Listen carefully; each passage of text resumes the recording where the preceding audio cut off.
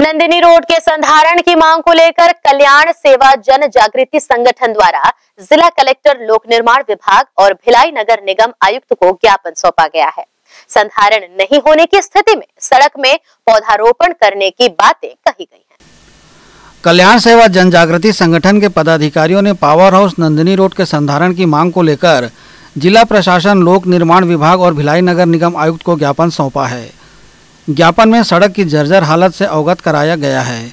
साथ ही गड्ढों के कारण सड़क पर आए दिन दुपहिया चालकों के अनियंत्रित होकर गिरने की जानकारी दी गई है। गड्ढों में पानी भरे होने की स्थिति में आवाजाही करते लोगों को दिक्कतों का सामना करना पड़ता है। गड्ढों को भरने केवल खाना पूर्ति की गई है। स्थिति अब भी जस की तस बनी हुई है। ज्ञापन की जानकारी संगठन के सुमनशील ने दी। सड़क के नाम पर शासन द्वारा प्रति साल मेंटेनेंस एवं सड़क निर्माण के लिए करोड़ों रुपए खर्च किए जा रहे हैं। परंतु सड़कों का हालात जस का तस बना हुआ है।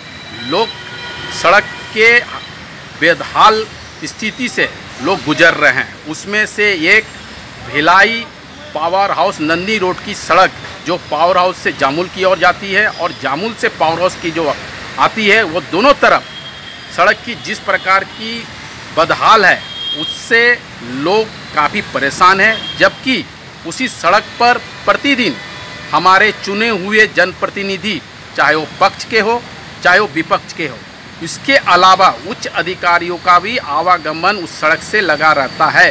परंतु उसके बावजूद उस सड़क की सुधार के लिए किसी भी तरह का कोई कार्य नहीं किया जा रहा है, जिसके संबंध में वहाँ के स्थानीय लोग परेशान होने के उपरांत इस विषय को लेकर